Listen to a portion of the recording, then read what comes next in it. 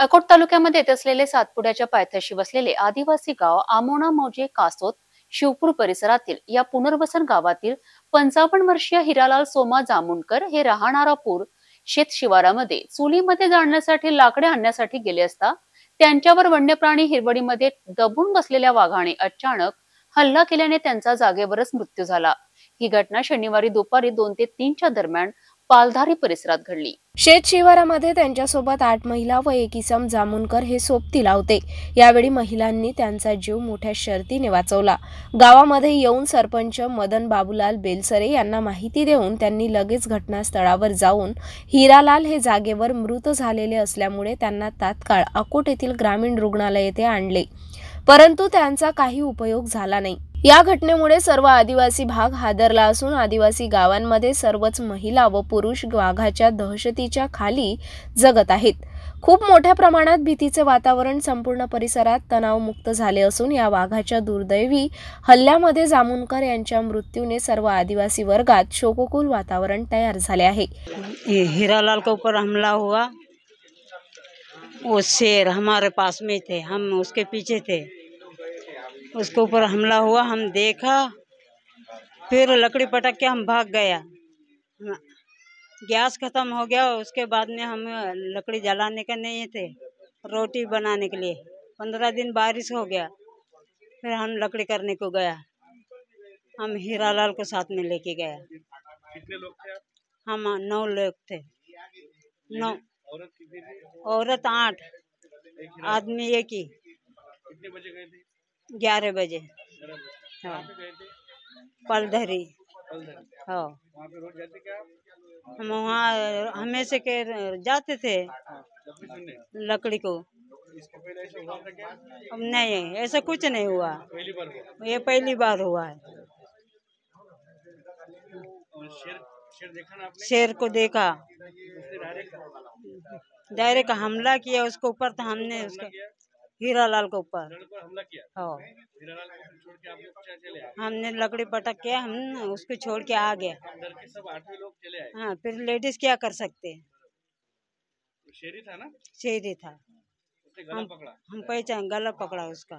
संपूर्ण आदिवासी समाज बांधव व सातपुड्याच्या पायथ्याशी वसलेल्या गावांमधील आदिवासी या कुटुंबाला मदतीची मागणी करत असून आजपर्यंत परिसरातील शेतकऱ्यांच्या जनावरे की जे शेतामध्ये खोपडीमध्ये राहत असून त्यांच्यावर वाघाने व बिबट्याने केलेल्या हल्ल्यात कितीतरी जनावरे ठार झाले असून त्यांना आजपर्यंत काहीच लोकांना मोबदला मिळाला नसून असंख्य शेतकरी मोबदल्यापासून वंचित आहेत.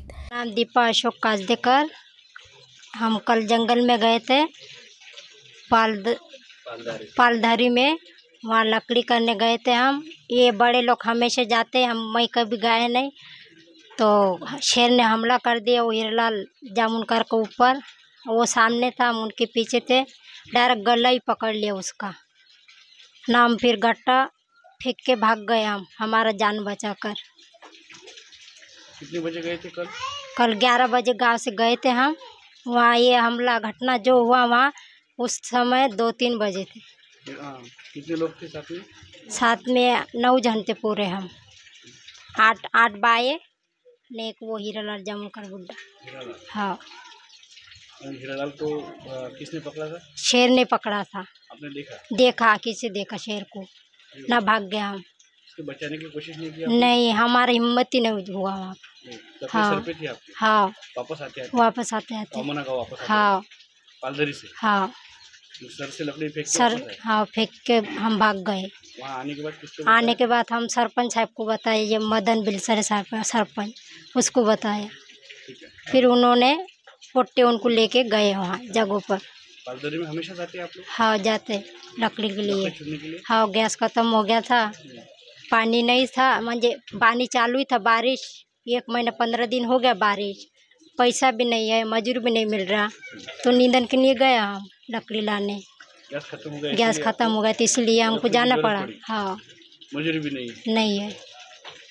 यावेळी वन्यजीव विभागावर संपूर्ण आदिवासी रोष व्यक्त करीत आहेत. वन्यजीव विभागाचा भोंगळ कारभार चव्हाट्यावर आलेला असून यावेळी प्रकाश डाखोरे सरपंच गुल्हार काट पांडुरंग तायडे शंकर बागडे अहमद शेख रविराज मोरे वन्यजीव प्रादेशिक विभागाचे V M Gaikwad D K Jadhav S V Bahade G P Tekale क्षेत्र अधिकारी सोमठाणा सदर मय्यत व्यक्ती भूमिहीन असून याबाबतचा प्राथमिक अहवाल तलाठी यांना तहसीलदार यांना सादर केलाय. इंधनकरिता पलदरी या जंगलात गेले असताना हिरलाल सोमा जामुनकर या माणसाला हे डायरेक्ट म्हणजे वाघानं हे हल्ला केलेला आहे आणि जागी ठार मारलेला आहे तिथं. आणि हे घटना आधी आजचे कालचेच नाही आहे. हे आधी दोन ते दीड वर्षापासून हे चालूच आहे. आणि कोण्या जनावरांना कोण्या अं, चारायला गेले की तिथं हे ठरणार आहे. आणि हे हे घटना हे कालची हे घटना घडलेलं आहे. त्याच्यामध्ये या माणसांना न्याय मिळवून देण्याचे हे प्रयत्न करावा या शासनानं. नाहीतर हे न्याय नाही मिळाला तर आम्ही यांच्या व्यतिरिक्त अजून ते आंदोलन करू. आतापर्यंत आतापर्यंत हे लई बरेचसे हे जनावर खाल्लेलं आहे एक ते दीड वर्षापासून हे घटना चालूच आहे. आणि याच्यावर हे फॉरेस्ट वन विभागाने काही ॲक्शन घेतलेले नाही आहे. आतापर्यंत हे वन विभागाकडून कोणाच माणसाला हे यायचे म्हणजे मोबदला मिळालेलं नाही. गावापर्यंत हे गावाच्या जवळपास शेतामध्ये येतात येत राहतात ते. कालच्या घटनेमुळे आम्ही दहशतीखाली गेलेलो आहे. आता याच्यामध्ये आता हे सांगा याच्यामध्ये पाऊस दिवसा म्हणजे पंधरा ते वीस दिवस झालेला आहे. आणि तिच्यामध्ये आता आपल्याला हे मजुरी वगैरे काही नाही आहे. शेत पण नाही आहे काहीच नाही आहे. पुनर्वसन झालेलं आहे इथं. कोणाजवळ जमीन नाही आहे काहीच नाही आहे. शासनाकडून पुनर्वसनाची मदत मिळालं पण आता हे त्याच्यामध्ये हे काही घर दुरुस्ती काही घर वगैरे बांधलेलं आहे. त्याच्यामध्ये हे सगळं संपून गेलेलं आहे. शेती नसल्यामुळे मजुरीशिवाय पर्याय नाही आहे. वनविभागाकडून आता हे मागणी हेच करणार आहे आम्ही की आम्हाला हे मजुरी उपलब्ध करून द्यावा.